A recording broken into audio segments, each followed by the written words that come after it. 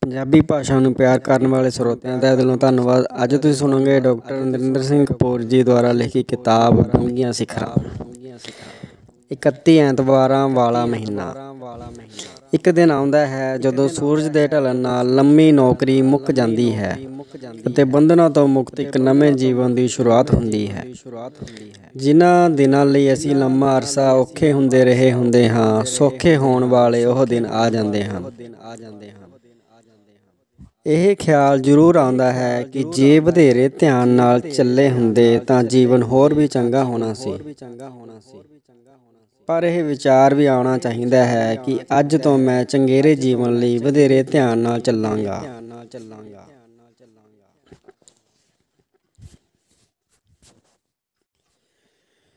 ਪਤਾ ਲੱਗਦਾ ਹੈ ਕਿ ਅਸੀਂ ਤਾਂ ਸਦਾ ਦੂਜਿਆਂ ਦੇ ਹੁਕਮ ਹੀ ਮੰਨਦੇ ਰਹੇ। ਉਹਨਾਂ ਦੇ ਪਿੱਛੇ ਪਿੱਛੇ ਹੀ ਤੁਰਦੇ ਰਹੇ। ਆਪ ਤਾਂ ਚੱਲੇ ਹੀ ਨਹੀਂ, ਪਰ ਹੁਣ ਅਸੀਂ ਆਪਣੀ ਮੌਜ ਨਾਲ ਚੱਲਾਂਗੇ। ਜੀਵਨ ਵਿੱਚ ਬੜਾ ਕੁਝ ਵਾਪਰਦਾ ਹੈ, ਪਰ ਜਨਮ, ਵਿਆਹ, ਸੇਵਾ ਮੁਕਤੀ ਅਤੇ ਮੌਤ ਜੀਵਨ ਦੇ ਚਾਰ ਮੁੱਖ ਪੜਾਅ ਹਨ। ਜਨਮ ਅਤੇ ਮਰਨ ਸਮੇਂ ਅਸੀਂ ਸੁਚੇਤ ਨਹੀਂ ਹੁੰਦੇ। ਵਿਆਹ ਸਮੇਂ ਅੱਖਾਂ ਸੁਪਨਿਆਂ ਕਾਰਨ ਅੱਧ ਮਿੱਟੀਆਂ ਹੁੰਦੀਆਂ ਹਨ, ਜਿਹੜੀਆਂ ਢਲਦੀ ਉਮਰ ਵਿੱਚ ਸੇਵਾ ਮੁਕਤੀ ਸਮੇਂ ਹੀ ਪੂਰੀ ਤਰ੍ਹਾਂ ਖੁੱਲਦੀਆਂ ਹਨ। ਸੇਵਾ ਮੁਕਤੀ ਦਾ ਸਿੱਧਾ ਸੰਬੰਧ ਨੌਕਰੀ ਨਾਲ ਹੈ। ਜਿਹੜੇ ਨੌਕਰੀ ਨਹੀਂ ਵੀ ਕਰਦੇ, ਉਹ ਵੀ ਇੱਕ ਦਿਨ ਆਪਣੇ ਵਹੀ ਖਾਤਿਆਂ ਜਾਂ ਸੰਦਾਂ ਨੂੰ ਮੱਥਾ ਟੇਕ ਦਿੰਦੇ ਹਨ ਅਤੇ ਇੱਥੋਂ ਹੀ ਜੀਵਨ ਦੇ ਦੂਜੇ ਅੱਧ ਦੀ ਯਾਤਰਾ ਆਰੰਭ ਹੁੰਦੀ ਹੈ। ਜਿਸ ਵਿੱਚ ਅਸੀਂ ਆਪਣਾ ਸਾਰਾ ਗਿਆਨ ਤਜਰਬਾ ਅਤੇ ਅਨੁਭਵ ਵਰਤਣਾ ਹੁੰਦਾ ਹੈ। ਸੇਵਾ ਮੁਕਤੀ ਨੂੰ ਖਿੜੇ ਮੱਥੇ ਅਤੇ ਧੰਨਵਾਦੀ ਬਿਰਤੀ ਨਾਲ ਸਵੀਕਾਰ ਕਰਨ ਦੀ ਲੋੜ ਹੈ। ਕਿਉਂਕਿ ਸੈਂਕੜੇ ਵਿਅਕਤੀ ਇਹ ਅਵਸਰ ਨਸੀਬ ਹੋਣ ਤੋਂ ਪਹਿਲਾਂ ਹੀ ਸੰਸਾਰ ਨੂੰ ਫਤਿਹ ਬੁਲਾ ਜਾਂਦੇ ਹਨ।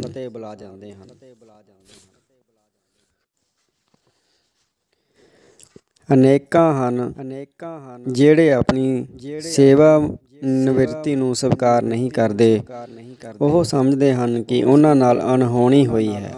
ਉਹ ਜਾ ਜਾ ਕੇ ਵੇਖਦੇ ਹਨ ਅਤੇ ਵੇਖ ਵੇਖ ਕੇ ਪਰੇਸ਼ਾਨ ਹੁੰਦੇ ਹਨ ਕਿ ਸਭ ਕੁਝ ਪਹਿਲੇ ਵਾਂਗ ਹੀ ਚੱਲ ਰਿਹਾ ਹੈ। ਉਹ ਭੁੱਲ ਜਾਂਦੇ ਹਨ ਕਿ ਉਹਨਾਂ ਤੋਂ ਪਹਿਲਾਂ ਵੀ ਬੜੇ ਮਹੱਤਵਪੂਰਨ ਵਿਅਕਤੀ ਸੇਵਾ ਮੁਕਤ ਹੋ ਚੁੱਕੇ ਹਨ ਅਤੇ ਉਹਨਾਂ ਨੇ ਆਪ ਵੀ ਦੂਜਿਆਂ ਦੀ ਸੇਵਾ ਨਿਵਰਤੀ ਦੀਆਂ ਮਿਤੀਆਂ ਆਪਣੀ ਡਾਇਰੀ ਵਿੱਚ ਲਿਖੀਆਂ ਹੋਈਆਂ ਸਨ।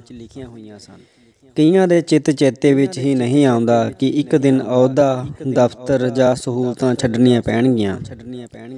ਇਸ ਲਈ ਉਹ ਆਪਣੇ ਸੇਵਾ ਕਾਲ ਵਿੱਚ ਵਾਧਾ ਕਰਾਉਣ ਲਈ ਪਾਇਦਾਨ ਵੀ ਬਣ ਜਾਂਦੇ ਹਨ।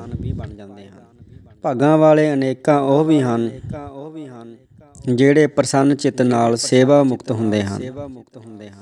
ਉਹਨਾਂ ਨੇ ਪਹਿਲਾਂ ਵੀ ਕੰਮ ਕੀਤਾ ਹੁੰਦਾ ਹੈ ਅਤੇ ਮਗਰੋਂ ਵੀ ਸੇਵਾ ਭਾਵ ਨਾਲ ਕਰਨਾ ਹੁੰਦਾ ਹੈ। ਅਜਿਹਾ ਦਾ ਮਾਨ ਸਤਕਾਰ ਅਹੁਦੇ ਕਾਰਨ ਨਹੀਂ, ਉਹਨਾਂ ਦੇ ਚਰਿੱਤਰ ਦੇ ਗੁਣਾ ਕਰਕੇ ਹੁੰਦਾ ਹੈ। ਅਤੇ ਉਹਨਾਂ ਵਿੱਚ ਇੱਕ ਡੂੰਗੀ ਨਿੱਗੀ ਸੂਝ ਹੁੰਦੀ ਹੈ, ਜਿਹੜੀ ਉਹਨਾਂ ਨੂੰ ਚੜ੍ਹਦੀ ਕਲਾ ਵਿੱਚ ਰੱਖਦੀ ਹੈ।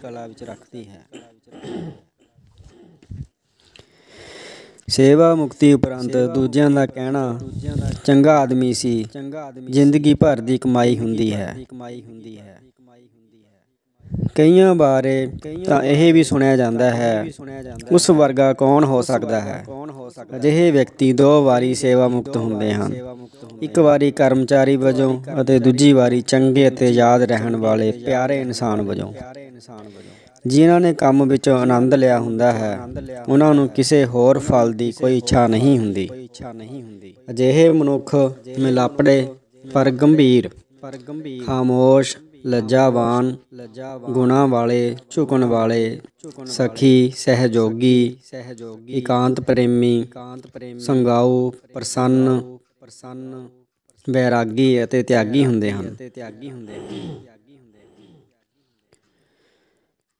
ਉਹਨਾਂ ਦੀ ਬਿਰਤੀ ਵਿੱਚ ਸੰਨਿਆਸ ਹੁੰਦਾ ਹੈ ਅਤੇ ਵਰਤਾਰੇ ਵਿੱਚ ਸਰਬੱਤ ਦੇ ਭਲੇ ਦੀ ਭਾਵਨਾ। ਉਹ ਆਪ ਸਮੱਸਿਆਵਾਂ ਉਪਜਾਉਂਦੇ ਨਹੀਂ, ਦੂਜਿਆਂ ਦੀਆਂ ਮੁਸ਼ਕਲਾਂ ਹੱਲ ਕਰਦੇ ਹਨ। ਹੱਲ ਕਰਦੇ ਉਹਨਾਂ ਲਈ ਸੇਵਾ ਨਿਵਰਤੀ, ਨਵੇਂ ਨਰੋਏ ਅਤੇ ਉਚੇਰੇ ਸ਼ੌਂਕ ਪਾਲਣ ਦਾ ਅਵਸਰ ਹੁੰਦੀ ਹੈ। ਸੇਵਾ ਮੁਕਤੀ ਉਪਰੰਤ ਜੀਵਨ ਨਵੀਆਂ ਲੀਹਾਂ ਤੇ ਚੱਲਣਾ ਹੁੰਦਾ ਹੈ। ਕਈ ਟੁੱਟੀਆਂ ਨੂੰ ਗੰਢਦੇ ਹਨ ਅਤੇ ਕਈ ਵਿਛੜਨ ਵੇਲੇ ਕੋੜੇ ਵਿਹਾਰ ਨਾਲ ਮੋਹ ਮਮਤਾ ਦੇ ਰਿਸ਼ਤੇ ਤੋੜ ਕੇ ਅੰਦਰ ਜ਼ਖਮ ਇਕੱਠੇ ਕਰਦੇ ਹਨ। ਕਈ ਗਵਾਚੇ ਗਵਾਚੇ ਲੱਗਦੇ ਹਨ, ਜਿਵੇਂ ਰਸਤਾ ਭੁੱਲ ਗਏ ਹੋਣ। ਕਈ ਜੀਵਨ ਸਾਥੀ ਦੇ ਪਹਿਲੇ ਚਲੇ ਜਾਣ ਕਾਰਨ ਇਕੱਲਤਾ ਤੋਂ ਭੈਭੀਤ ਹੋ ਜਾਂਦੇ ਹਨ। ਕਿਉਂਕਿ ਮਨ ਦੀ ਖੁਸ਼ੀ ਅਤੇ ਸਵੈ ਮਾਨ ਦੇ ਨਖਰੇ ਜੀਵਨ ਸਾਥੀ ਦੇ ਚਲੇ ਜਾਣ ਨਾਲ ਚਲੇ ਜਾਂਦੇ ਹਨ ਅਤੇ ਅੰਦਰ ਇੱਕ ਝਿਜਕ ਜਿਹੀ ਬਹਿ ਜਾਂਦੀ ਹੈ। ਆਪਣੇ ਕਾਰਜਾਂ ਦਾ ਸਹੀ ਭਾਵੇਂ ਹਿਸਾਬ ਨਾ ਰੱਖੀਏ ਕੁਦਰਤ ਰੱਖਦੀ ਹੈ ਕੁਦਰਤ ਰੱਖਦੀ ਹੈ। ਕਈਆਂ ਦੀਆਂ ਨਿੱਕੀਆਂ ਨਿੱਕੀਆਂ ਚਤੁਰਾਈਆਂ, ਜਿਨ੍ਹਾਂ ਨੂੰ ਉਹ ਸਿਆਣਪਾਂ ਸਮਝਦੇ ਹਨ। ਸੁਖਾਵੇਂ ਅਤੇ ਨਿੱਗੇ ਸਬੰਧਾਂ ਦੀਆਂ ਤੰਦਾਂ ਇੰਜ ਤੋੜ ਜਾਂਦੀਆਂ ਹਨ ਕਿ ਦੁੱਖ ਸੁੱਖ ਵਿੱਚ ਕਿਸੇ ਤੱਕ ਆਵਾਜ਼ ਨਹੀਂ ਅਪੜਦੀ। ਇਹ ਘਾਟੇ ਪੁਸ਼ਤਾਂ ਤੱਕ ਸਤਾਉਂਦੇ ਰਹਿੰਦੇ ਹਨ। ਜਿਹੜੇ ਪਤੀ ਪਤਨੀ ਜਾਂ ਸੰਤਾਨ ਅਤੇ ਮਾਪਿਆਂ ਵਿਚਕਾਰ ਸਬੰਧ ਸਖਾਵੇਂ ਨਹੀਂ ਹੁੰਦੇ। ਉੱਥੇ ਮਨੁੱਖ ਅਤੇ ਕੁਦਰਤ ਦੇ ਰਿਸ਼ਤੇ ਵਿੱਚ ਵੀ ਨਿਗ ਨਹੀਂ ਹੁੰਦਾ। ਮਾਪਿਆਂ ਦੀ ਦੇਖਭਾਲ ਹੀ ਸੰਤਾਨ ਲਈ ਤਸੱਲੀ ਭਰਿਆ ਰਜੇਮਾ ਹੁੰਦਾ ਹੈ। ਸਾਨੂੰ ਸਾਰਿਆਂ ਨੂੰ ਮਾਪਿਆਂ ਦੀ ਲੋੜ ਹੈ। ਉਹਨਾਂ ਦੀਆਂ ਅਸੀਸਾਂ ਦੀ ਵੀ, ਨਸੀਹਤਾਂ ਦੀ ਵੀ, ਝਿੜਕਾਂ ਦੀ ਵੀ ਅਤੇ ਸਾਵਧਾਨੀਆਂ ਦੀ ਵੀ। ਉਹਨਾਂ ਦੇ ਆਖਰੀ ਸਮੇਂ ਵਿੱਚੋਂ ਉਦਾਸੀਆਂ ਕੱਢ ਕੇ ਤਸੱਲੀਆਂ ਭਰਨ ਦੀ ਲੋੜ ਹੈ ਭਰਨ ਦੀ ਲੋੜ ਹੈ।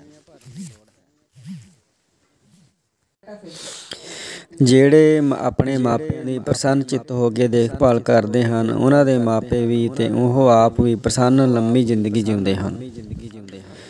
ਸੇਵਾ ਮੁਕਤੀ ਉਪਰੰਤ ਭਰਪੂਰ ਜ਼ਿੰਦਗੀ ਲਈ ਗਿਆਨ ਅਤੇ ਸੇਵਾ ਦੋਹਾਂ ਦੀ ਲੋੜ ਹੈ। ਗਿਆਨ ਸਾਨੂੰ ਆਪੇ ਦੀ ਸੋਝੀ ਦਿੰਦਾ ਹੈ, ਜਦੋਂ ਕਿ ਸੇਵਾ ਅਤੇ ਮੁਹੱਬਤ ਦਾ ਜਜ਼ਬਾ ਦੂਜਿਆਂ ਨੂੰ ਸਾਡੇ ਨੇੜੇ ਲਿਆਉਂਦਾ ਹੈ। ਰੋਜ਼ ਲੱਖਾਂ ਥਾਵਾਂ ਤੇ ਸਰਬੱਤ ਦੇ ਭਲੇ ਦੀ ਅਰਦਾਸ ਰਾਹੀਂ ਸਾਡੇ ਭਲੇ ਦੀ ਵੀ ਅਰਦਾਸ ਹੁੰਦੀ ਹੈ। ਜਿਹੜੇ ਸੋਚਦੇ ਹਨ, ਉਹਨਾਂ ਕੋਲ ਸਭ ਕੁਝ ਹੈ, ਉਹਨਾਂ ਨੂੰ ਸੰਸਾਰ ਵੀ ਭਰਿਆ ਭਰਿਆ ਲੱਗਦਾ ਹੈ। ਭਰੇ ਹੋਣਾ, ਖਾਲੀ ਹੋਣਾ, ਪ੍ਰਸੰਨ ਹੋਣਾ, ਉਦਾਸ ਹੋਣਾ ਸਾਡੀ ਸੋਚ ਉੱਤੇ ਨਿਰਭਰ ਕਰਦਾ ਹੈ।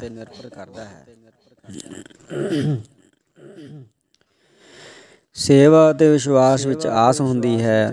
ਜਦੋਂ ਵਿਸ਼ਵਾਸ ਉਪਜਦਾ ਹੈ ਤਾਂ ਮੁਆਫ ਕੀਤੇ ਜਾਣ ਦੀ ਇੱਛਾ ਅਤੇ ਮੁਆਫ ਕਰਨ ਦੀ ਦਲੇਰੀ ਵੀ ਉਪਜਦੀ ਹੈ। ਇਹਨਾਂ ਭਾਵਨਾਵਾਂ ਵਿੱਚੋਂ ਕੁਦਰਤ ਜਾਂ ਪਰਮਾਤਮਾ ਵਿੱਚ ਵਿਸ਼ਵਾਸ ਉਪਜਦਾ ਹੈ, ਜਿਹੜਾ ਅਰਦਾਸ ਵਿੱਚ ਪ੍ਰਗਟ ਹੁੰਦਾ ਹੈ।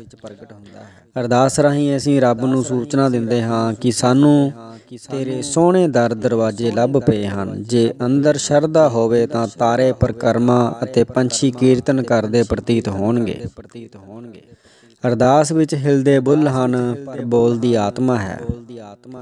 ਪਿਆਰ, ਦਇਆ ਅਤੇ ਖਿਮਾ ਰੋਹਾਨੀ ਗੁਣ ਹਨ। ਇਹਨਾਂ ਗੁਣਾਂ ਤੋਂ ਬਿਨਾ ਸੇਵਾ ਮੁਕਤ ਵਿਅਕਤੀ ਸਣਕੀ ਬਣ ਜਾਂਦੇ ਹਨ ਅਤੇ ਜੀਵਨ ਵਿੱਚੋਂ ਖਾਰਜ ਹੋ ਜਾਂਦੇ ਹਨ। ਪੁਰਸ਼ਾਂ ਦੇ ਮੁਕਾਬਲੇ ਇਸਤਰੀਆਂ ਇਸੇ ਲਈ ਲੰਮੇਰਾ ਅਤੇ ਸੰਤੁਸ਼ਟ ਜੀਵਨ ਜਿਉਂਦੀਆਂ ਹਨ, ਕਿਉਂਕਿ ਉਹ ਧਾਰਮਿਕ ਹੁੰਦੀਆਂ ਹਨ ਅਤੇ ਉਹਨਾਂ ਵਿੱਚ ਉਪਰੋਕਤ ਰੋਹਾਨੀ ਗੁਣ ਹੁੰਦੇ ਹਨ। ਪੁਰਸ਼ਾਂ ਨੂੰ ਆਪਣੇ ਕੰਮ ਵਾਲੀ ਥਾਂ ਨਾਲ ਲਗਾਓ ਹੁੰਦਾ ਹੈ ਜਦੋਂ ਕਿ ਕੰਮ ਕਾਜੀ ਇਸਤਰੀ ਦੀ ਵੀ ਪਹਿਲੀ ਵਫਾਦਾਰੀ ਘਰ ਨਾਲ ਹੁੰਦੀ ਹੈ। ਇਸਤਰੀਆਂ ਸੇਵਾ ਮੁਕਤੀ ਨੂੰ ਉਤਸ਼ਾਹ ਨਾਲ ਉਡੀਕਦੀਆਂ ਹਨ, ਜਦੋਂ ਕਿ ਪੁਰਸ਼ਾਂ ਨੂੰ ਇਸ ਸਥਿਤੀ ਨਾਲ ਸਮਝੌਤਾ ਕਰਨਾ ਪੈਂਦਾ ਹੈ। ਸੋ ਪੁਰਸ਼ਾਂ ਨੂੰ ਆਪਣੇ ਦ੍ਰਿਸ਼ਟੀਕੋਣ ਵਿੱਚ ਤਬਦੀਲੀ ਕਰਨੀ ਪੈਂਦੀ ਹੈ। ਪਤੀ ਪਤਨੀ ਰਿਸ਼ਤਿਆਂ ਦੇ ਨਹੀਂ, ਜ਼ਿੰਮੇਵਾਰੀਆਂ ਦੇ ਨਾਂ ਹਨ। ਇਵੇਂ ਹੀ ਘਰ, ਮੰਜਾ, ਬਿਸਤਰਾ, ਰਸੋਈ ਤੇ ਗੁਸਲਖਾਨਾ ਹੀ ਨਹੀਂ ਹੁੰਦਾ। ਇਹ ਸਾਡੀ ਸਭ ਪ੍ਰਕਾਰ ਦੀ ਸੁਰੱਖਿਆ ਅਤੇ ਤਸੱਲੀ ਦਾ ਕੇਂਦਰ ਵੀ ਹੁੰਦਾ ਹੈ। ਸੇਵਾ ਮੁਕਤੀ ਵਾਲੇ ਦਿਹਾੜੇ ਸਾਡਾ ਅਹੁਦਾ ਰੁਤਬਾ ਦਫ਼ਤਰ ਹੀ ਰਹਿ ਜਾਂਦਾ ਹੈ ਅਤੇ ਅਸੀਂ ਬਾਕੀ ਦਾ ਜੀਵਨ ਗੁਜ਼ਾਰਨ ਲਈ ਆਪਣੇ ਘਰ ਪਹੁੰਚ ਜਾਂਦੇ ਹਾਂ। ਘਰ ਵਿੱਚ ਸੇਵਾ ਮੁਕਤ ਵਿਅਕਤੀ ਦੀ ਦੇਖਭਾਲ ਉਸ ਦੇ ਸਾਬਕਾ ਅਹੁਦੇ ਕਾਰਨ ਨਹੀਂ, ਉਸ ਦੇ ਵਰਤਮਾਨ ਵਿਹਾਰ ਦੇ ਆਧਾਰ ਤੇ ਹੋਵੇਗੀ। ਘਰ ਵਿੱਚ ਪਤੀ ਨੂੰ ਇੱਕ ਅਗਿਆ ਆਗਿਆਕਾਰੀ ਲਾਇਕ ਵਿਦਿਆਰਥੀ ਵਾਂਗ ਵਿਚਰਨਾ ਪਵੇਗਾ। ਵਿਚਰਨਾ ਪਵੇਗਾ ਇਸ ਲਈ ਕਹਿੰਦੇ ਹਨ ਕਿ ਜੇ ਅਜੇ ਤੱਕ ਨਹੀਂ ਸਿੱਖੇ ਤਾਂ ਆਪਣੇ ਘਰ ਵਿੱਚ ਪ੍ਰਸੰਨ ਹੋ ਕੇ ਰਹਿਣਾ ਸਿੱਖੋ। ਜਿਹੜਾ ਹਰ ਵੇਲੇ ਘਰ ਰਹਿੰਦਾ ਹੈ, ਉਹ ਘਰ ਤੋਂ ਸਿਵਾਏ ਕੁਝ ਨਹੀਂ ਵੇਖਦਾ ਉਸ ਨੂੰ ਬਿਮਾਰੀ ਨਹੀਂ, ਉਹ ਬਿਮਾਰੀ ਨੂੰ ਲੱਗ ਜਾਂਦਾ ਹੈ ਅਤੇ ਦਵਾਈਆਂ ਦੀ ਗਿਣਤੀ ਵਧਣ ਲੱਗ ਪੈਂਦੀ ਹੈ। ਬਿਸਤਰੇ ਤੋਂ ਗੁਸਲਖਾਨੇ ਤੱਕ ਜਾਣ ਨੂੰ ਸੈਰ ਨਹੀਂ ਕਹਿੰਦੇ। ਸੈਰ ਘਰੋਂ ਬਾਹਰ, ਘਰੋਂ ਦੂਰ ਜਾਣ ਦਾ ਨਾਂ ਹੈ। ਜਿਤਨੀ ਲੰਬੀ ਸੈਰ ਹੋਵੇਗੀ, ਉਤਨੀ ਚੰਗੀ ਸਿਹਤ ਹੋਵੇਗੀ। ਸਿਹਤ ਹੋਵੇਗੀ ਸਿਹਤ ਹੋਵੇਗੀ ਅਸੀਂ ਸੈਰ ਨਾਲ ਸੰਤੁਸ਼ਟ ਨਹੀਂ ਹੁੰਦੇ, ਸਗੋਂ ਤੰਦਰੁਸਤ ਹੋਣ ਕਰਕੇ ਸੈਰ ਕੀਤੀ ਜਾਂਦੀ ਹੈ ਸੈਰ ਕੀਤੀ ਜਾਂਦੀ ਹੈ। ਪੁਰਸ਼ਾਂ ਲਈ ਘਰੋਂ ਬਾਹਰ ਜਾਣਾ ਇਸ ਲਈ ਵੀ ਜ਼ਰੂਰੀ ਹੈ ਤਾਂ ਜੋ ਪਤਨੀ ਨੂੰ ਕੁਝ ਚਿਰ ਸੌਖਾ ਸਾਹ ਆਵੇ। ਜਿਹੜੇ ਸੇਵਾ ਮੁਕਤੀ ਉਪਰੰਤ ਘਰ ਦੇ ਚੌਕੀਦਾਰ ਅਤੇ ਪਤਨੀ ਦੇ ਪਹਿਰੇਦਾਰ ਬਣ ਜਾਂਦੇ ਹਨ, ਉਹ ਜਿੱਥੇ ਵੀ ਹੁੰਦੇ ਹਨ, ਉੱਥੇ ਹੀ ਨਰਕ ਸਿਰਜ ਲੈਂਦੇ ਹਨ। ਸੇਵਾ ਮੁਕਤੀ ਉਪਰੰਤ ਪਤੀ ਦੇ ਹਰ ਵੇਲੇ ਘਰ ਰਹਿਣ ਨਾਲ ਤਣਾਅ ਉਪਜਦਾ ਹੈ ਅਤੇ ਪਤਨੀ ਵਿੱਚ ਖਿਜਣ ਦੀ ਬਿਰਤੀ ਵੱਧਦੀ ਹੈ। ਪਤਨੀ ਨਾਲ ਸਾਰਾ ਜੀਵਨ ਪੁਰਸ਼ ਨੇ ਜੋ ਚੰਗਾ ਮਾੜਾ ਵਿਹਾਰ ਕੀਤਾ ਹੁੰਦਾ ਹੈ ਉਸ ਦਾ ਸੇਵਾ ਮੁਕਤੀ ਸਮੇਂ ਪਤਨੀ ਆਲੋਚਨਾਤਮਕ ਮੁਲਾਂਕਣ ਕਰਦੀ ਹੈ।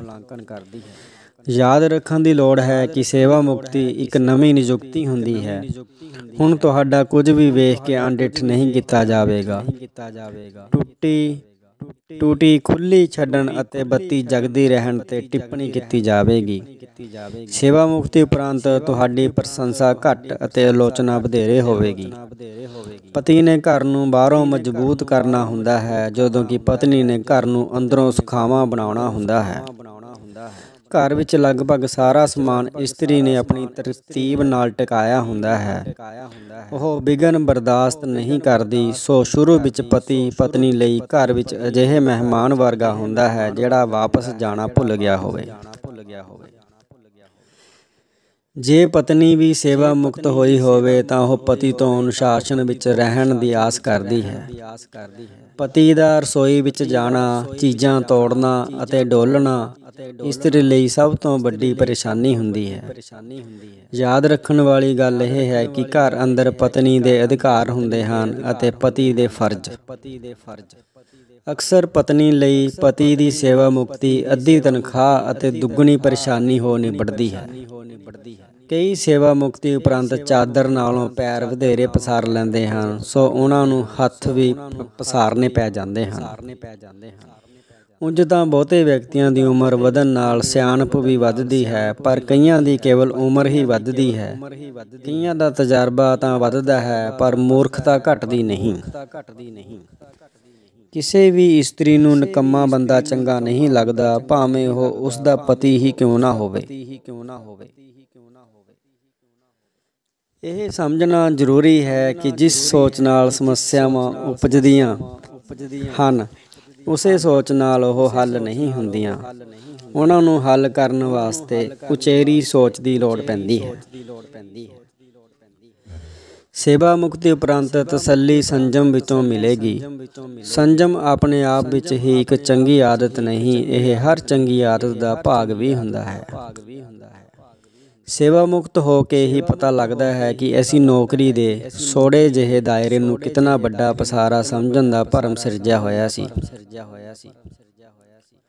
ਅਹੁਦਾ, ਸਰਦਾਰੀ, ਚੌਧਰ ਆਦ ਜੇ ਨਿਮਰਤਾ ਤੇ ਹਮਦਰਦੀ ਵਿਹੋਣੇ ਹੋਣ ਤਾਂ ਇਹ ਕਈਆਂ ਦੀ ਨਫ਼ਰਤ ਦਾ ਨਿਸ਼ਾਨਾ ਬਣਦੇ ਹਨ। ਮੁਹੱਬਤ ਅਤੇ ਹਾਂ ਪੱਖੀ ਅਨੁਭਵਾਂ ਜਾਂ ਕਾਰਨਾਂ ਨਾਲ ਅਸੀਂ ਸਮੁੱਚੀ ਕਾਇਨਾਤ ਨਾਲ ਜੁੜਦੇ ਹਾਂ। ਇਸ ਅਵਸਥਾ ਵਿੱਚ। ਇਸ ਅਵਸਥਾ ਵਿੱਚ ਸਾਨੂੰ ਕਿਸੇ ਉਪਦੇਸ਼ ਜਾਂ ਨਸੀਹਤ ਦੀ ਲੋੜ ਨਹੀਂ ਪੈਂਦੀ ਅਤੇ ਨਾ ਕੇਵਲ ਅਸੀਂ ਆਪਣੀਆਂ ਸਮੱਸਿਆਵਾਂ ਸੁਲਝਾਉਂਦੇ ਹਾਂ, ਸਗੋਂ ਦੂਜਿਆਂ ਦੀਆਂ ਸਮੱਸਿਆਵਾਂ ਸੁਲਝਾਉਣ ਵਿੱਚ ਵੀ ਸਹਿਯੋਗੀ ਹੁੰਦੇ ਹਾਂ। ਸਹਿਯੋਗੀ ਹੁੰਦੇ ਹਾਂ ਇਸ ਹਾਲਤ ਵਿੱਚ ਤੁਸੀਂ ਜੋ ਕੁਝ ਵੀ ਤੁਸੀਂ ਜੋ ਕੁਝ ਕਹੋ, ਕਰੋਗੇ, ਉਹ ਠੀਕ ਹੋਵੇਗਾ, ਕਿਉਂਕਿ ਠੀਕ ਅਤੇ ਸਹੀ ਤੋਂ ਸਿਵਾਏ ਤੁਸੀਂ ਕੁਝ ਕਰ ਹੀ ਨਹੀਂ ਸਕੋਗੇ।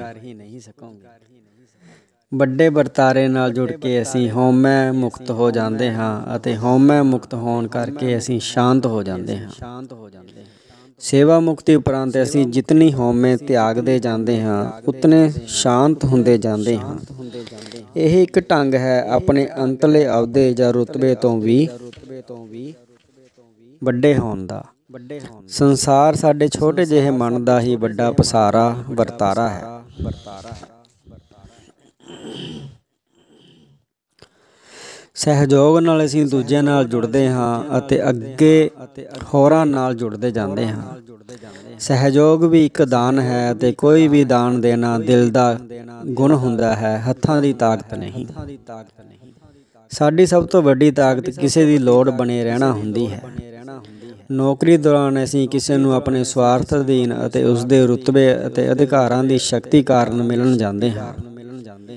ਜਦੋਂ ਕਿ ਸੇਵਾ ਮੁਕਤੀ ਉਪਰੰਤ ਰਿਸ਼ਤੇ ਅੰਦਰਲੇ ਗੁਣਾ ਮਿਲਣੀ ਦੇ ਨਿੱਘ ਉਦਾਰਤਾ ਅਤੇ ਸਹਿਯੋਗੀ ਬਿਰਤੀ ਉੱਤੇ ਆਧਾਰਿਤ ਹੁੰਦੇ ਹਨ। ਸੰਸਾਰ ਨੇ ਸਮਾਜ ਨੇ ਨੌਕਰੀ ਅਤੇ ਅਹੁਦੇ ਨੇ ਸਾਨੂੰ ਬਹੁਤ ਕੁਝ ਦਿੱਤਾ ਹੁੰਦਾ ਹੈ। ਧੰਨਵਾਦੀ ਹੋਣ ਅਤੇ ਵਾਪਸ ਕਰਨ ਦੀ ਜ਼ਿੰਮੇਵਾਰੀ ਸਾਡੀ ਹੁੰਦੀ ਹੈ। ਜਦੋਂ ਤੱਕ ਕੋਈ ਸੇਵਾ ਮੁਕਤ ਹੁੰਦਾ ਹੈ, ਉਸਨੇ ਭੋਜਨ, ਪੈਸਾ, ਸਫਲਤਾ, ਰੁਤਬਾ, ਸੁਰੱਖਿਆ, ਪਿਆਰ, ਕਾਮ ਆਦ ਸਭ ਕੁਝ ਹੰਡਾ ਲਿਆ ਹੁੰਦਾ ਹੈ। ਪਰ ਇਸ ਦੇ ਬਾਵਜੂਦ ਕਈ ਵਿਅਕਤੀ ਗਿੱਲੇ ਸ਼ਿਕਵੇ ਹੀ ਕਰਦੇ ਰਹਿੰਦੇ ਹਨ, ਜਿਹੜੇ ਇਸ ਗੱਲ ਦੇ ਸੂਚਕ ਹੁੰਦੇ ਹਨ ਕਿ ਉਹਨਾਂ ਵੱਲੋਂ ਜੀਵਨ ਚੰਗੀ ਤਰ੍ਹਾਂ ਜੀਵਿਆ ਨਹੀਂ ਗਿਆ। ਜਿਸ ਕਾਰਨ ਦਿਲ ਅਤੇ ਦਿਮਾਗ ਵਿਚਕਾਰ ਮਨੁੱਖ ਅਤੇ ਕੁਦਰਤ ਵਿਚਕਾਰ ਵਿਥ ਬਣੀ ਰਹਿੰਦੀ ਹੈ। ਮੌਤ ਦਾ ਡਰ, ਖੁਸ਼ੀ ਜਾਂ ਉਦਾਸੀ ਵੀ ਜੀਵਨ ਨੂੰ ਚੰਗੇ ਜਾਂ ਮਾੜੇ ਢੰਗ ਨਾਲ ਜੀਉਣ ਦੇ ਅਨੁਪਾਤ ਵਿੱਚ ਹੁੰਦੀ ਹੈ। ਮੇਰਾ ਇੱਕ ਮਿੱਤਰ ਦੱਸ ਰਿਹਾ ਸੀ, ਜਦੋਂ ਮੈਂ ਸੇਵਾ ਮੁਕਤ ਹੋਇਆ ਤਾਂ ਉਸ ਤੋਂ ਪਹਿਲੇ ਵੀ ਮੇਰੇ ਦਫ਼ਤਰ ਦੇ ਦਰਖਤ ਤੋਂ ਕਿਤਨੇ ਹੀ ਪੱਤੇ ਝੜ ਚੁੱਕੇ ਸਨ। ਮੈਨੂੰ ਖਿਆਲ ਸੀ ਕਿ ਮੇਰੀ ਉਮਰ ਦਾ ਕਿਸੇ ਨੂੰ ਪਤਾ ਨਹੀਂ ਸੀ ਅਤੇ ਇਸ ਕਾਰਨ ਹੀ ਸੇਵਾ ਮੁਕਤੀ ਤੋਂ ਪਹਿਲੇ ਮੈਂ ਕੁਝ ਮਹੀਨੇ ਦੀ ਰਵਾਇਤੀ ਛੁੱਟੀ ਵੀ ਨਾ ਲਈ। ਪਰ ਜਦੋਂ ਮੈਨੂੰ ਦਿੱਤੀ ਜਾਣ ਵਾਲੀ ਵਿਦਾਇਗੀ ਪਾਰਟੀ ਦਾ ਸੱਦਾ ਪੱਤਰ ਮਿਲਿਆ ਤਾਂ ਪਤਾ ਲੱਗਿਆ ਕਿ ਮੇਰੇ ਕਮਰੇ ਨੂੰ ਲੈਣ ਲਈ ਤਾਂ ਕਈ ਮਹੀਨਿਆਂ ਤੋਂ ਸਿਫਾਰਸ਼ਾਂ ਦਾ ਸਿਲਸਿਲਾ ਚੱਲ ਰਿਹਾ ਸੀ। ਮੇਰਾ ਵਿਸ਼ਵਾਸ ਸੀ ਕਿ ਮੈਨੂੰ ਸੇਵਾ ਮੁਕਤ ਕਰਕੇ ਮਹਿਕਮੇ ਨੂੰ ਸਖਤ ਅਫਸੋਸ ਹੋਵੇਗਾ। ਪਰ ਮੈਨੂੰ ਵਿਦਾ ਕਰਨ ਲਈ ਵਿਖਾਇਆ ਜਾ ਰਿਹਾ ਚਾਹ ਮੈਨੂੰ ਖੁਸ਼ੀ ਵੀ ਦੇ ਰਿਹਾ ਸੀ, ਪਰ ਨਾਲ ਹੀ ਪਰੇਸ਼ਾਨ ਵੀ ਕਰ ਰਿਹਾ ਸੀ। ਕਈਆਂ ਨੇ ਮੇਰਾ ਦਿਲ ਰੱਖਣ ਲਈ ਕਿਹਾ, ਤੁਸੀਂ ਮਹਿਕਮੇ ਦੀ ਯਾਦਗਾਰੀ ਸੇਵਾ ਕੀਤੀ ਹੈ। ਮੈਨੂੰ ਪਤਾ ਲੱਗਿਆ ਕਿ ਮੈਨੂੰ ਵਿਦਾ ਕਰਨ ਦੀਆਂ ਤਿਆਰੀਆਂ ਕਈ ਦਿਨਾਂ ਤੋਂ ਚੱਲ ਰਹੀਆਂ ਸਨ ਅਤੇ ਇਸ ਅਰਸੇ ਦੌਰਾਨ ਮੇਰੇ ਪ੍ਰਤੀ ਅਣਗਹਿਲੀ ਸ਼ੁਰੂ ਹੋ ਗਈ ਸੀ। ਜਿਹੜਾ ਸੇਵਾਦਾਰ ਬਿਨਾਂ ਬੁਲਾਏ ਹੀ ਕਈ ਵਾਰੀ ਪੁੱਛਦਾ ਸੀ, ਕੋਈ ਸੇਵਾ ਦੱਸੋ? ਹੁਣ ਵੀ ਉਹ ਵੀ ਹੁਣ ਤਿੰਨ ਚਾਰ ਵਾਰੀ ਬੁਲਾਉਣ ਮਗਰੋਂ ਆ ਕੇ ਕਹਿਣ ਲੱਗ ਪਿਆ ਸੀ ਕੀ ਹੈ? ਜਿਵੇਂ ਮਰਨ ਵਾਲੇ ਦੀਆਂ ਗਲਤੀਆਂ ਮਾਫ ਕਰ ਦਿੱਤੀਆਂ ਜਾਂਦੀਆਂ ਹਨ ਅਤੇ ਕੇਵਲ ਨੇਕੀਆਂ ਯਾਦ ਰੱਖੀਆਂ ਜਾਂਦੀਆਂ ਹਨ। ਉਵੇਂ ਵਿਦਾਇਗੀ ਪਾਰਟੀ ਵਿੱਚ ਮੈਨੂੰ ਵੀ ਚੰਗਾ ਇਨਸਾਨ ਸਾਬਤ ਕੀਤਾ ਜਾ ਰਿਹਾ ਸੀ। ਇੰਜ ਲੱਗਦਾ ਸੀ ਕਿ ਮੇਰੇ ਇਹ ਗੁਣ ਉਹਨਾਂ ਨੂੰ ਨੌਕਰੀ ਦੇ ਅਖੀਰਲੇ ਦਿਨ ਦੀ ਦੁਪਹਿਰ ਮਗਰੋਂ ਹੀ ਵਿਖਾਈ ਦੇਣ ਲੱਗੇ ਸਨ। ਜਿਹੜੇ ਉਂਝ ਕੰਜੂਸ ਸਨ, ਉਹ ਵੀ ਅੱਜ ਮੇਰੀ ਪ੍ਰਸ਼ੰਸਾ ਵਿੱਚ ਸ਼ਬਦਾਂ, ਵਿਸ਼ੇਸ਼ਣਾਂ ਨੂੰ ਖੁੱਲ੍ਹ ਕੇ ਖਰਚ ਰਹੇ ਸਨ। ਮੇਰੀ ਆਪਣੀ ਸੇਵਾ ਮੁਕਤੀ ਵੇਲੇ ਕਈਆਂ ਨੇ ਤਾਂ ਅਜਿਹੇ ਜਜ਼ਬਾਤ ਪ੍ਰਗਟਾਏ ਕਿ ਜਿਵੇਂ ਮੈਂ ਮਹਿਕਮੇ ਤੋਂ ਨਹੀਂ, ਇਸ ਦੁਨੀਆ ਤੋਂ ਹੀ ਜਾ ਰਿਹਾ ਸਾਂ। ਸ਼ਰਧਾਂਜਲੀਆਂ ਉਪਰੰਤ ਜਦੋਂ ਚੰਦਾ ਇਕੱਠਾ ਕਰਕੇ ਖਰੀਦੇ ਤੋਹਫੇ ਮੇਰੀ ਕਾਰ ਵਿੱਚ ਰੱਖ ਦਿੱਤੇ ਗਏ, ਤਾਂ ਮੇਰੀ ਕਾਰ ਸਟਾਰਟ ਹੀ ਨਾ ਹੋਈ। ਸ਼ਾਇਦ ਮੇਰੀ ਕਾਰ ਨੇ ਮੇਰੀ ਸੇਵਾ ਮੁਕਤੀ ਸਵੀਕਾਰ ਨਹੀਂ ਸੀ ਕੀਤੀ, ਪਰ ਮੇਰੇ ਸਹਿਕਰਮੀਆਂ ਨੇ ਧੱਕਾ ਮਾਰ-ਮਾਰ ਕੇ ਹੀ ਮੇਰੀ ਕਾਰ ਯੂਨੀਵਰਸਿਟੀ ਤੋਂ ਬਾਹਰ ਪਹੁੰਚਾ ਦਿੱਤੀ। ਪ੍ਰਗਟਾਏ ਜਜ਼ਬਾਤਾਂ ਵਿੱਚ ਰੁੜ ਜਾਣ ਕਾਰਨ ਮੈਨੂੰ ਪਤਾ ਹੀ ਨਹੀਂ ਸੀ ਲੱਗਿਆ ਕਿ ਮੈਂ ਕਾਰ ਨੂੰ ਸਕੂਟਰ ਵਾਲੀ ਚਾਬੀ ਲਾਈ ਹੋਈ ਸੀ। ਘਰ ਵੱਲ ਆਉਂਦਿਆਂ ਸੋਚਿਆ, ਪਤਾ ਨਹੀਂ ਪਤਨੀ ਦਾ ਵਿਹਾਰ ਕਿਹੋ ਜਿਹਾ ਹੋਵੇਗਾ। ਪਰ ਉਹ ਝਟ ਚਾਹ ਬਣਾ ਲਿਆਈ ਅਤੇ ਬੋਲੀ, ਅੱਜ ਤੁਸੀਂ ਗੈਰ ਪ੍ਰੋਫੈਸਰੀ ਚਿਹਰੇ ਨਾਲ ਘਰ ਆਏ ਹੋ।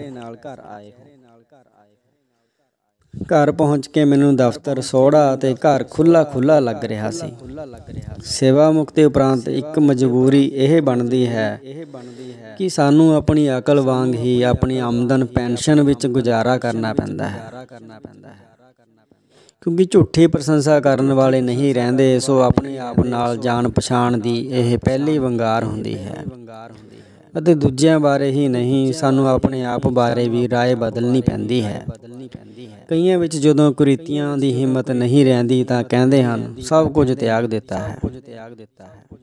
40 ਸਾਲ ਨੌਕਰੀ ਕਰਨ ਉਪਰੰਤ ਸੋਝੀ ਹੁੰਦੀ ਹੈ ਕਿ ਉਹ ਸਮਾਂ ਤਾਂ ਆਇਆ ਹੀ ਨਹੀਂ, ਜਿਸ ਦੀ ਉਡੀਕ ਸੀ।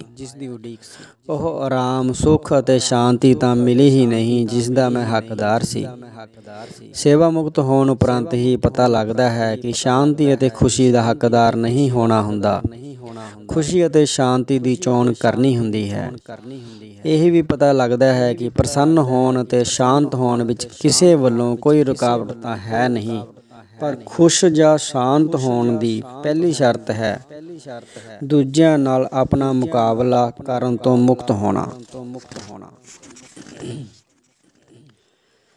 ਮੁਕਾਬਲੇ ਵਿੱਚੋਂ ਵਿਰੋਧ ਉਪਜਦਾ ਹੈ ਤੇ ਵਿਰੋਧ ਵਿੱਚੋਂ ਨਿਰਾਸ਼ਤਾ ਪੈਦਾ ਹੁੰਦੀ ਹੈ। ਇਹ ਕਹਿਣ ਦੀ ਵੀ ਲੋੜ ਨਹੀਂ ਕਿ ਮੇਰੀ ਯੋਗਤਾ ਦਾ ਸਹੀ ਮੁੱਲ ਨਹੀਂ ਪਿਆ, ਕਿਉਂਕਿ ਜੋ ਕੁਝ ਮਿਲਿਆ ਹੁੰਦਾ ਹੈ ਅਤੇ ਜੋ ਕੁਝ ਕੋਲ ਹੁੰਦਾ ਹੈ ਜਾਂ ਜਿਸ ਪੜਾਅ ਤੇ ਅਸੀਂ ਸੇਵਾ ਮੁਕਤ ਹੋਏ ਹੁੰਦੇ ਹਾਂ, ਉਹ ਵੀ ਘਟ ਨਹੀਂ ਹੁੰਦਾ। ਵਾਸਤਵ ਵਿੱਚ ਮਨੁੱਖ ਦੂਜਿਆਂ ਦੀ ਨਿੰਦਾ ਕਰਨ ਦੇ ਬਹਾਨੇ ਲੱਭਦਾ ਰਹਿੰਦਾ ਹੈ ਅਤੇ ਆਪ ਦੁਖੀ ਹੁੰਦਾ ਰਹਿੰਦਾ ਹੈ। ਦੁੱਖ ਦਾ ਕੋਈ ਲਾਭ ਜਾਂ ਉਦੇਸ਼ ਨਹੀਂ ਹੁੰਦਾ, ਇਸੇ ਲਈ ਇਹ ਪਰੇਸ਼ਾਨ ਕਰਦਾ ਹੈ। ਨਿੰਦਾ ਤੋਂ ਮੁਕਤ ਹੋਏ ਬਿਨਾ ਸੰਤੁਸ਼ਟ ਹੋਣਾ ਅਸੰਭਵ ਹੈ। ਜੇ ਭੁੱਖ ਲੱਗਦੀ ਹੈ, ਜੇ ਭੋਜਨ ਸਵਾਦ ਲੱਗਦਾ ਹੈ। ਜੇ ਕਦੇ-ਕਦੇ ਕੋਈ ਇਸਤਰੀ ਸੋਹਣੀ ਲੱਗਦੀ ਹੈ, ਕਿਧਰੇ ਕੋਈ ਪੁਰਸ਼ ਸਿਆਣਾ ਪ੍ਰਤੀਤ ਹੁੰਦਾ ਹੈ, ਤਾਂ ਇਹ ਸਭ ਜੀਵਨ ਨੂੰ ਮਾਣਨ ਦੇ ਅਵਸਰ ਹਨ। ਸੇਵਾ ਮੁਕਤੀ ਉਪਰੰਤ ਨੀਂਦਰ ਸਭ ਤੋਂ ਵੱਡੀ ਨਿਆਮਤ ਹੈ ਅਤੇ ਸਿਹਤ ਪੱਖੋਂ ਤੰਦਰੁਸਤ ਹੋਣ ਦੀ ਇਹ ਸਭ ਤੋਂ ਵੱਡੀ ਨਿਸ਼ਾਨੀ ਹੈ। ਇਹ ਸਭ ਦਰਦਾਂ ਦਾ ਇਲਾਜ ਤਾਂ ਹੈ ਹੀ। ਇਹ ਸਭ ਤੋਂ ਵੱਡਾ ਮਨੋਰੰਜਨ ਅਤੇ ਸਭ ਤੋਂ ਉੱਚੀ ਮੌਜ ਵੀ ਹੈ। ਜਦੋਂ ਨੀਂਦਰ ਆਈ ਹੋਵੇ, ਵਕਤ ਕੋਈ ਹੋਵੇ, ਲੱਗਦਾ ਹੈ ਰਾਤ ਪੈਣ ਵਾਲੀ ਹੈ। ਜੇ ਤੁਸੀਂ ਬੱਚਿਆਂ ਵਾਂਗ ਸੋ ਸਕਦੇ ਹੋ, ਤਾਂ ਤੁਸੀਂ ਬਾਦਸ਼ਾਹ ਹੋ। ਨਿਰਸੰਦੇਹ ਚੰਗੀਆਂ ਕਦਰਾਂ ਕੀਮਤਾਂ ਘਟ ਰਹੀਆਂ ਹਨ, ਪਰ ਤਸੱਲੀ ਵਾਲੀ ਗੱਲ ਹੈ ਕਿ ਇਹ ਲੋਪ ਨਹੀਂ ਹੋਈਆਂ। ਪ੍ਰਸੰਨ ਹੋਵੋਗੇ, ਇਹ ਘਾਟ ਵੀ ਨਹੀਂ ਦਿਸੇਗੀ। ਵਾਸਤਵ ਵਿੱਚ ਬੁਨਿਆਦੀ ਕਦਰਾਂ ਕੀਮਤਾਂ ਉਵੇਂ ਹੀ ਰਹਿੰਦੀਆਂ ਹਨ ਇਹ ਸਾਡਾ ਆਪਣੇ ਜਜ਼ਬਿਆਂ ਦੇ ਠੰਡੇ ਹੋ ਜਾਣ ਕਾਰਨ। ਭਰਮ ਹੁੰਦਾ ਹੈ ਕਿ ਕਦਰਾਂ ਕੀਮਤਾਂ ਬਦਲ ਗਈਆਂ ਹਨ ਜਾਂ ਡਿੱਗ ਰਹੀਆਂ ਹਨ। ਸੇਵਾ ਮੁਕਤੀ ਉਪਰੰਤ ਝਗੜੇ ਜਾਂ ਦੁਸ਼ਮਣੀ ਦਾ ਸਿਲਸਿਲਾ ਦੂਰ ਤੱਕ ਨਹੀਂ ਚੱਲਦਾ, ਕਿਉਂਕਿ ਆਰਾਮ ਜ਼ਿੰਦਗੀ ਦੀ ਮੁੱਢਲੀ ਲੋੜ ਬਣ ਜਾਂਦੀ ਹੈ। ਸੇਵਾ ਮੁਕਤੀ ਉਪਰੰਤ ਸਾਡੇ ਸ਼ੁਭ ਚਿੰਤਕਾਂ ਦੀ ਵੀ ਇਹੀ ਇੱਛਾ ਹੁੰਦੀ ਹੈ ਕਿ ਅਸੀਂ ਸਾਵਾ ਸੰਤੁਲਨ ਅਤੇ ਉਸਾਰੂ ਜੀਵਨ ਜੀਵੀਏ। ਇਸੇ ਕਰਕੇ ਵਿਦਾਇਗੀ ਸਮਾਗਮ ਵਿੱਚ ਸਾਰੇ ਚੰਗੇ ਤੇ ਸੋਹਣੇ ਬਣ ਜਾਂਦੇ ਹਨ। ਉਹ ਸੋਹਣੇ ਇਸ ਲਈ ਲੱਗਦੇ ਹਨ ਕਿਉਂਕਿ ਉਹਨਾਂ ਤੋਂ ਸਾਡੇ ਵਿਦਾ ਹੋਣ ਦੀ ਖੁਸ਼ੀ ਸਾਂਭੀ ਨਹੀਂ ਜਾ ਰਹੀ ਹੁੰਦੀ। ਕਈ ਨੱਚਦੇ ਗਾਉਂਦੇ ਵਿਦਾ ਹੁੰਦੇ ਹਨ। ਕਈ ਵਿਦਾ ਹੁੰਦਿਆਂ ਵੀ ਮੁਕੱਦਮੇ ਕਰਨ ਲੱਗ ਪੈਂਦੇ ਹਨ। ਜੇ ਕੋਈ ਮੂਰਖਤਾ ਕਰਨ ਤੋਂ ਹਟਦਾ ਹੀ ਨਹੀਂ, ਤਾਂ ਸੋਚੋ ਕਿ ਜਿਮ ਸੋਚੋ ਕਿ ਜਿਸ ਨੂੰ ਰੱਬ ਨੇ ਮੂਰਖਤਾ ਦੀ ਦਾਤ ਦਿੱਤੀ ਹੈ, ਉਸ ਨੂੰ ਅਸੀਂ ਕਿਵੇਂ ਬਿਰਵਾ ਕਰ ਸਕਦੇ ਹਾਂ?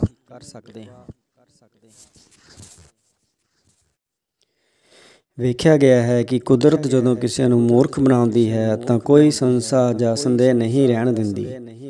ਮੇਰੇ ਇੱਕ ਮਿੱਤਰ ਹਨ ਜਿਹੜੇ ਹਰ ਵੇਲੇ ਝੁਰਦੇ ਰਹਿੰਦੇ ਹਨ। ਕਿਧਰੇ ਭੂਰ ਨਾ ਜਾਵਾਂ, ਕਿਧਰੇ ਭੁਰ ਨਾ ਜਾਵਾਂ, ਕਿਧਰੋਂ ਖੁਰ ਨਾ ਜਾਵਾਂ, ਕਦੀ ਥੁੜ ਨਾ ਜਾਵਾਂ, ਉਹ ਨਿੱਕੇ ਜਿਹੇ ਦਰਦ ਨਾਲ ਖਬਰ ਫੈਲਾ ਦਿੰਦੇ ਹਨ ਕਿ ਦਿਲ ਦਾ ਦੌਰਾ ਪੈਣਾ ਵਾਲਾ ਹੈ। ਚੰਗੇ ਉਹੀ ਲੱਗਦੇ ਹਨ ਜਿਹੜੇ ਸੇਵਾ ਮੁਕਤੀ ਉਪਰੰਤ ਮਸਤੀ ਭਰਿਆ ਭਰਪੂਰ ਜੀਵਨ ਜਿਉਂਦੇ ਹਨ। ਮੇਰੇ ਗਵਾਂਢ ਵਿੱਚ ਲੰਮੀ ਸੇਵਾ ਮੁਕਤੀ ਹੰਡਾਉਣ ਵਾਲੇ ਇੱਕ ਹੈਡਮਾਸਟਰ ਸਾਹਿਬ ਰਹਿੰਦੇ ਹਨ, ਜਿਹੜੇ ਆਪਣੇ ਜੀਵਨ ਨੂੰ 31 ਐਤਵਾਰਾਂ ਵਾਲਾ ਮਹੀਨਾ ਦੱਸਦੇ ਹਨ ਅਤੇ ਰੱਬ ਨੂੰ ਆਪਣਾ ਦੋਸਤ ਕਹਿੰਦੇ ਹਨ ਅਤੇ ਦੱਸਦੇ ਹਨ ਕਿ ਪਹਿਲਾਂ ਕੰਮ ਕਰਨ ਦਾ ਇਨਾਮ ਹਰ ਮਹੀਨੇ ਮਿਲਦਾ ਸੀ, ਹੁਣ ਆਰਾਮ ਕਰਨ ਦੀ ਤਨਖਾਹ ਮਿਲਦੀ ਹੈ। ਇੱਕ ਦਿਨ ਕਹਿਣ ਲੱਗੇ, ਦੰਦ ਚਲੇ ਗਏ ਹਨ, ਨਜ਼ਰ ਵੀ ਚਲੀ ਗਈ ਹੈ, ਗੋਡੇ ਤੇ ਮੋਢੇ ਵੀ ਨਹੀਂ ਰਹੇ। ਸਮਾਨ ਰੱਬ ਕੋਲ ਭੇਜ ਦਿੱਤਾ ਹੈ, ਅਸੀਂ ਵੀ ਤਿਆਰ ਹਾਂ। ਉਹਨਾਂ ਦਾ ਫਲਸਫਾ ਹੈ ਡਿਗਨ ਦੀ ਚਿੰਤਾ ਹੁੰਦੀ ਹੈ ਮਿਨਾਰਾਂ ਨੂੰ। ਸਾਨੂੰ ਬੁਨਿਆਦਾਂ ਦੇ ਪੱਥਰਾਂ ਨੂੰ ਕੀ ਡਰ? ਉਹ ਪ੍ਰਸੰਨ ਚਿੱਤ ਹੋ ਕੇ ਕਹਿੰਦੇ ਹਨ ਕਿ ਲੋਕਾਂ ਨੇ ਤਾਂ ਸ਼ਮਸ਼ਾਨ ਘਾਟ ਤੱਕ ਹੀ ਨਾਲ ਜਾਣਾ ਹੈ। ਉਸ ਮਗਰੋਂ ਸਫ਼ਰ ਇਕੱਲਿਆਂ ਹੀ ਕਰਨਾ ਹੈ। ਇਸੇ ਕਰਕੇ ਅਭਿਆਸ ਵਾਸਤੇ ਮੈਂ ਇਕੱਲਿਆਂ ਹੀ ਸੈਰ ਲਈ ਜਾਂਦਾ ਹਾਂ ਇਕੱਲਿਆਂ ਜਾਂ ਰਲ ਕੇ ਸੈਰ ਕਰਨ ਵਾਲਿਆਂ ਦਾ ਖੁੱਲੀਆਂ ਥਾਵਾਂ ਤੇ ਮਿਲ ਬੈਠਣ ਵਾਲਿਆਂ ਦਾ ਕਿਸੇ ਸਾਂਝੀ ਥਾਂ ਜਾਂ ਧਾਰਮਿਕ ਸਥਾਨ ਤੇ ਰੋਜ਼ ਜਾਣ ਵਾਲਿਆਂ ਦਾ ਇੱਕ ਭਾਈਚਾਰਾ ਬਣ ਜਾਂਦਾ ਹੈ। ਸੇਵਾ ਮੁਕਤਾ ਸੇਵਾ ਮੁਕਤੇ ਨੂੰ ਮਿਲ ਕੇ ਪ੍ਰਸੰਨ ਹੁੰਦਾ ਹੈ, ਕਿਉਂਕਿ ਇਸ ਸਮੇਂ ਕੋਈ ਸਵਾਰਥ ਨਹੀਂ ਹੁੰਦਾ, ਸੋ ਸਬੰਧ ਉਸਾਰਨੇ ਸੌਖੇ ਹੁੰਦੇ ਹਨ। ਜੇ ਸਮੁੱਚੇ ਰੂਪ ਵਿੱਚ ਸਿਹਤ ਠੀਕ ਹੈ, ਤਾਂ ਨਿੱਕੀਆਂ ਮੋਟੀਆਂ ਤਕਲੀਫਾਂ ਆਪੇ ਠੀਕ ਹੋ ਜਾਂਦੀਆਂ ਹਨ। ਵਕਤ ਦੇ ਬਦਲਣ ਨਾਲ ਸਾਡੇ ਦ੍ਰਿਸ਼ਟੀਕੋਣ ਵਾਂਗ ਸਾਡੀਆਂ ਆਦਤਾਂ ਵੀ ਬਦਲ ਜਾਂਦੀਆਂ ਹਨ। ਜਿਵੇਂ ਜਵਾਨੀ ਵਿੱਚ ਵਿਦਰੋਹੀ ਅਤੇ ਜੋਸ਼ੀਲੇ ਬਿਰਤੀ ਕਾਰਨ ਅਸੀਂ ਤਿੱਖਾ ਤਿੱਖਾ ਸੋਚਦੇ ਹਾਂ ਅਤੇ ਕਾਲਾ ਕਾਲਾ ਕਰਦੇ ਹਾਂ, ਪਰ ਸੇਵਾ ਮੁਕਤੀ ਉਪਰੰਤ ਸਮਝੌਤੇ ਅਤੇ ਸ਼ਾਂਤੀ ਵਾਲੀ ਬਿਰਤੀ ਕਾਰਨ ਅਤੇ ਟਿਕਾਓ ਕਰਕੇ ਅਸੀਂ ਵਧੇਰੇ ਕਰਕੇ ਸੁਣਦੇ ਅਤੇ ਵੇਖਦੇ ਹੀ ਹਾਂ। ਸੇਵਾ ਮੁਕਤ ਹੋ ਕੇ ਬੁੱਢੇ ਹੋਣ ਦੀ ਮਾਨਸਿਕਤਾ ਤੋਂ ਬਚਣਾ ਚਾਹੀਦਾ ਹੈ ਅਤੇ ਜ਼ਿੰਦਗੀ ਦੇ ਸਾਦੇ ਅਤੇ ਸਾਊ ਸਵਾਦ ਅਤੇ ਸ਼ੌਂਕ ਕਾਇਮ ਰੱਖਣੇ ਚਾਹੀਦੇ ਹਨ। ਅਤੇ ਸੰਜਮ ਅਤੇ ਸਬਰ ਨਾਲ ਇਹ ਕਾਇਮ ਰਹਿੰਦੇ ਹਨ। ਉਹਨਾਂ ਨੂੰ ਸਨੇਹ ਨਾਲ ਯਾਦ ਕਰਨਾ ਚਾਹੀਦਾ ਹੈ ਜਿਨ੍ਹਾਂ ਨੇ ਸਾਡੇ ਉੱਤੇ ਮਿਹਰਬਾਨੀਆਂ ਕੀਤੀਆਂ ਸਨ। ਜੇ ਵਧੀਕੀਆਂ ਯਾਦ ਕਰਨੀਆਂ ਹਨ ਤਾਂ ਉਹ ਕਰੋ ਜੋ ਤੁਸੀਂ ਦੂਜਿਆਂ ਨਾਲ ਕੀਤੀਆਂ ਸਨ। ਸੇਵਾ ਮੁਕਤੀ ਉਪਰੰਤ ਆਪਣੇ ਸਰੀਰ ਦੇ ਸੰਕੇਤਾਂ ਅਤੇ ਬਿਰਤੀਆਂ ਅਨੁਸਾਰ। ਨਿਤਨੇਮ ਸਿਰਜਣ ਦੀ ਲੋੜ ਹੁੰਦੀ ਹੈ। ਇਹ ਉਮਰ ਗੁਜ਼ਰੇਗੀ ਤਾਂ ਤੁਹਾਡੀ ਸਮੁੱਚੀ ਜੀਵਨ ਜਾਂਚ ਅਨੁਸਾਰ ਹੀ ਪਰ ਤਜਰਬੇ ਅਤੇ ਅਨੁਭਵ ਨੂੰ ਧਿਆਨ ਵਿੱਚ ਰੱਖ ਕੇ ਆਨੰਦ ਲਿਆ ਜਾ ਸਕਦਾ ਹੈ। ਕਈ ਵੇਹਲ ਨੂੰ ਹੀ ਆਨੰਦ ਸਮਝਦੇ ਹਨ। ਆਨੰਦ ਵਿੱਚ ਬੁੱਧੀ ਅਤੇ ਦਿਲ, ਸੋਚ ਅਤੇ ਕਾਰਜ ਵਿੱਚ ਇੱਕ ਸੂਰਤਾ ਹੁੰਦੀ ਹੈ, ਜਿਹੜੀ ਵੇਹਲ ਵਿੱਚ ਨਹੀਂ ਹੁੰਦੀ। ਆਪਣੇ ਨਿੱਕੇ ਨਿੱਕੇ ਰੁਝੇਵੇਂ, ਆਪ ਸਿਰਜੋ ਸਵੇਰੇ ਨੇਮ ਨਾਲ ਤਿਆਰ ਹੋਵੋ, ਕੋਈ ਘਰ ਆਵੇ, ਧੰਨ ਭਾਗ ਸਮਝੋ। ਨਿਰਸੰਦੇ ਖੁੱਲੀਆਂ ਥਾਵਾਂ ਸਾਨੂੰ ਸੱਦਦੀਆਂ ਰਹਿੰਦੀਆਂ ਹਨ। ਪਾਣੀ ਵਾਲੀਆਂ ਥਾਵਾਂ ਵਿੱਚ ਮਨ ਨੂੰ ਸ਼ਾਂਤ ਕਰਨ ਦੀ ਸ਼ਕਤੀ ਹੁੰਦੀ ਹੈ। ਪੁਸਤਕਾਂ ਜਿਹਾ ਕੋਈ ਸਾਥ ਨਹੀਂ, ਇਹ ਸਾਡੀ ਬੁੱਧੀ ਦਾ ਮਨੋਰੰਜਨ ਕਰਦੀਆਂ ਹਨ ਅਤੇ ਸਾਡੀਆਂ ਅੰਦਰਲੀਆਂ ਖੁਸ਼ਹਾਲੀਆਂ ਨੂੰ ਜਗਾ ਦਿੰਦੀਆਂ ਹਨ। ਚੰਗੇ ਬੰਦਿਆਂ ਜਿਹੀ ਕੋਈ ਸੰਗਤ ਨਹੀਂ ਹੁੰਦੀ, ਕਿਸੇ ਸਭਾ ਸੰਸਥਾ ਵਿੱਚ ਸ਼ਾਮਲ ਹੋ ਕੇ ਅਸੀਂ ਆਪਣੇ ਖਾਲੀਪਨ ਨੂੰ ਭਰ ਸਕਦੇ ਹਾਂ। ਚੰਗਿਆਂ ਦੀ ਸੰਗਤ ਵਿੱਚ ਮਨੁੱਖ ਨਿਰਸਵਾਰਥ ਹੋ ਜਾਂਦਾ ਹੈ ਅਤੇ ਸਧਾਰਨ, ਸਾਦੇ ਅਤੇ ਸਰਲ ਹੋਣ ਵਿੱਚ ਆਨੰਦ ਆਉਂਦਾ ਹੈ। ਰੱਬ ਨੂੰ ਆਪਣਾ ਸਾਥੀ ਬਣਾਓ, ਕਿਉਂਕਿ ਇਹ ਸਾਥ ਬੜਾ ਨਿੱਘਾ ਹੈ। ਇਸ ਸਾਥ ਵਿੱਚੋਂ ਕਰੁਣਾ, ਦਇਆ ਅਤੇ ਹਮਦਰਦੀ ਦੇ ਭਾਵ ਉਪਜਣਗੇ। ਜਿਹੜੇ ਸਾਨੂੰ ਨਿੱਕੇ ਦਾਇਰਿਆਂ ਵਿੱਚੋਂ ਕੱਢ ਕੇ ਵੱਡੇ ਵਿਸ਼ਾਲ ਵਰਤਾਰਿਆਂ ਵਿੱਚ ਲੈ ਆਉਣਗੇ। ਇੱਥੇ ਇਵੇਂ ਸੇਵਾ ਮੁਕਤੀ ਉਪਰੰਤ ਜੀਵਨ ਦੀ ਚਾਲ ਭਾਵੇਂ ਹੌਲੀ ਹੋ ਜਾਵੇਗੀ, ਪਰ ਜੀਵਨ ਦੀ ਤਸੱਲੀ ਉੱਚੀ ਹੋ ਜਾਵੇਗੀ। ਸੇਵਾ ਮੁਕਤ ਜੀਵਨ ਦੀ ਸੇਵਾ ਇਹੀ ਹੈ ਕਿ ਅਸੀਂ ਆਪਣੀ ਜ਼ਿੰਦਗੀ ਵਿੱਚ ਪ੍ਰਸੰਨਤਾ ਦੇ ਰੰਗ ਅਤੇ ਮੁਹੱਬਤ ਦੀ ਰੌਣਕ ਭਰਨ ਦੇ ਹਰੇਕ ਅਵਸਰ ਤੋਂ ਲਾਭ ਉਠਾਈਏ ਅਤੇ ਅਜਿਹਾ ਕਰਨ ਵਿੱਚ ਹੋਰਾਂ ਦੀ ਮਦਦ ਕਰੀਏ। ਚੈਨਲ ਨੂੰ ਸਬਸਕ੍ਰਾਈਬ ਕਰਨ ਲਈ ਧੰਨਵਾਦ। ਤੁਹਾਡਾ ਦਿਨ ਸ਼ੁਭ ਰਹੇ।